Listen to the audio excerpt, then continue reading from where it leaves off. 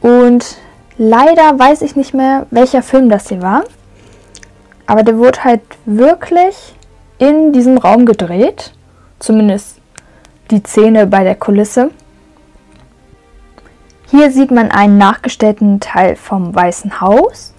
Und manchmal wurden die Bilder abgenommen und auch der Flur hier für andere Zwecke genutzt.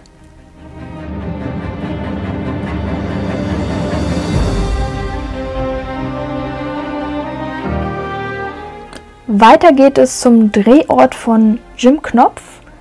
Hier ist einmal die Lokomotive, dann noch so eine Höhle, wo dann auch die ganzen Effekte mit drin sind. Die sehen hier im echten gar nicht so bemerkenswert aus wie im Film. Und dann geht es auch schon weiter.